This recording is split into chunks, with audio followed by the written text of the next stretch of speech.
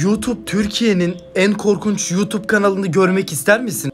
Antalya'da yaşayan 19 yaşındaki genç gece 3'te McDonald's'a gittiğinde başına öyle bir şey geldi ki Haydi şimdi hep birlikte bu çocuğun YouTube kanalını inceleyelim. Arama kısmına Burak Memiş yazdık ve çocuğun YouTube kanalına girdik. Son videosunda öyle bir video paylaştı ki gece 3'te Arkadaşlar, McDonald's'a girip Şu anda McDonald's'ın önündeyim ve şu anda saat gece 3. Bu videoyu kaçırmayın. Başka kimse yok. Arkadaşlar sırf bu videoyu çekmek için McDonald's'ı tekrardan açtırdım arkadaşlar.